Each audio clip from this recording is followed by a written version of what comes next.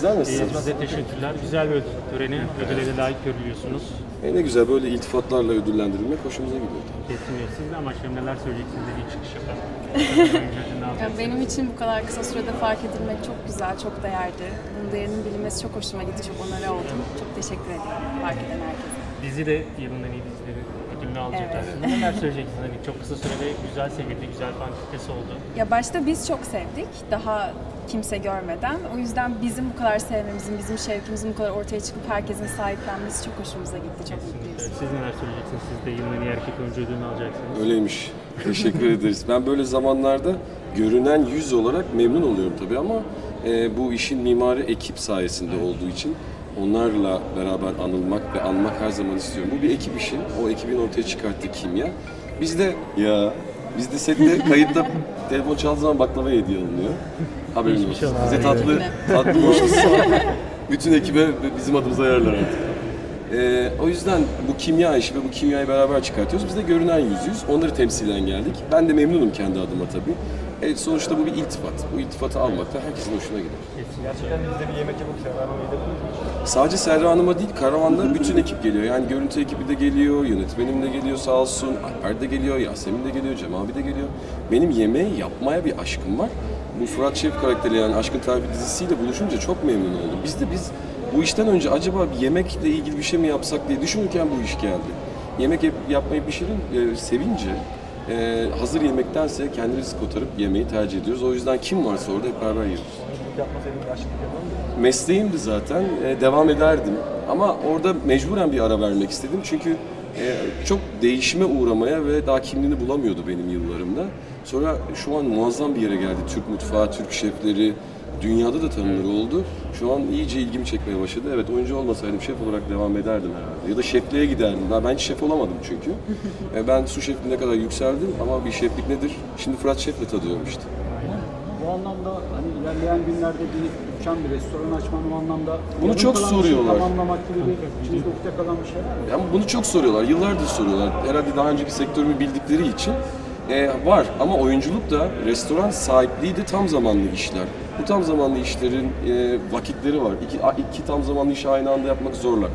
Bir süre sonra yapmayı düşünüyoruz. Bir e, meyhane projemiz var. Umarım ilk onu hayata geçirebiliriz. Sosyal medyada Eyvallah. paylaşılan bir video çok konuşuldu. Serra Hanım'la birbirine Evet. bakışmanız. Evet. Neslihan Hanım'ın nasıl tepki verdiği soruluyor. Genelde yorum. Neslihan evde, Ankara'da bir misa Ankara'dan bir misafirimiz var. Sabah bana kahvaltı hazırladı. Her şey yolunda dostlar. Eğer duymak istediğiniz buysa. E, sosyal medyada gündem oldu diye hani e, Gündem mi oldu? Kepser oldu falan. Hadi canım, haberim yok. Aynen. Kepser oldu. Bir bakarsanız mutlaka görürsünüz. Bir ara Çok bakalım. yorum yapıldı. Kıskanmalı Yani- mı, kıskanmalı mı diye anket oluşturdular hatta. Şöyle Türkiye ki... gündemine oturdunuz diye. Hadi ya, o hiç haberim yok. Seda hiçbir şey söylemiyorsun. Arkadaşlar her şey yolunda. Bu bir ekip ve kimya işi. E, şekle bakmamak lazım. O yüzden herkesin e, aklı, kalbi rahat olsun. Eğer varsa bir sorunlar gidip onlara soracaksınız. Bana değil. Çok şükür bir sorunumuz yok. Son olarak Twitter'da da bir yazı paylaşmıştınız. Keramet'te gelen Evet, e, O da bir gazla gönderme. gider. Sadece gönderme olarak. Estağfurullah ya, ne alakası var? İlk defa duyuyorum böyle bir şey. Dün çok sevdiğim bir arkadaşımla karşılaştım. O bir menkıbe hikaye aslında. Şimdi e, bir tane, e, iki aziz, Türk azizi beraber e, bir, bir dergahta oturuyorlarmış. Bunlar e, şey, e, Bektaşi. Birisi Baba Erenler, birisi Derviş. Derviş demiş ki ya Baba Erenler ben çok sıkıldım dergah kimse gelmiyor. O demiş ki aa Derviş'im hiç sıkılma. Şimdi sokağa çıkarız, buluruz bir yöntemini. Çıkıyorlar sokağa. Sokağa çıktıktan sonra 2-3 tane çocuk görüyorlar. 2-3 tane çocuğun da elinde bir güvercin var. Biri kafasından tutuyor, biri gövdesinden tutuyor. Kopartıyorlar. Halk çok üzülüyor. Aman tanrım diyor, kuş şey oldu. Çok üzüldük. Baba erenler tutuyor, alıyor avucuna, üflüyor, bırakıyor, kuş uçuyor. Halk diyor ki üf keramet ehli. Haftasına dergah doluyor taşıyor. 3 ay geçiyor, 5 ay geçiyor, 6 ay geçiyor, 7 ay geçiyor. Sonra derviş diyor ki ya baba erenler diyor ben çok yoruldum diyor. Aa diyor öyle mi erenler diyor hiç merak etme. E, Baba erenler namazı durduğunda bir gaz çıkartıyor. Gelen herkes gazla gidiyor. Yani kerametle gelen dostlar gazla gider. gazla gider. Yani beni, beni beni sevenler gelsin. Beni sevdiği için gelsin. Dün bir çok sevdiğim bir arkadaşımla karşılaştım. Uzun zamandır görüşmüyorduk. Ona atfen yazdığım bir şeydi. Böyle şeylere sebep olduğunu bilmiyordum.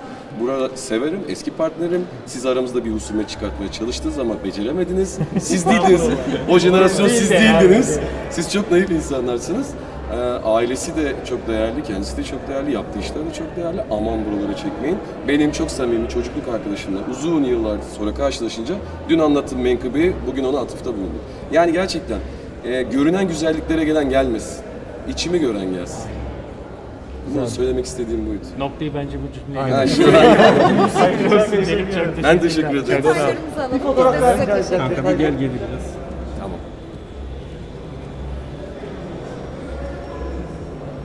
Sen az sonra. Tamam abi. Fotoğraf alacağım. Ah. Ben de. Son bir de ben rica etsem. Tabii tabii. Teşekkür ederiz. Biz teşekkür ederiz. Kolay gelsin.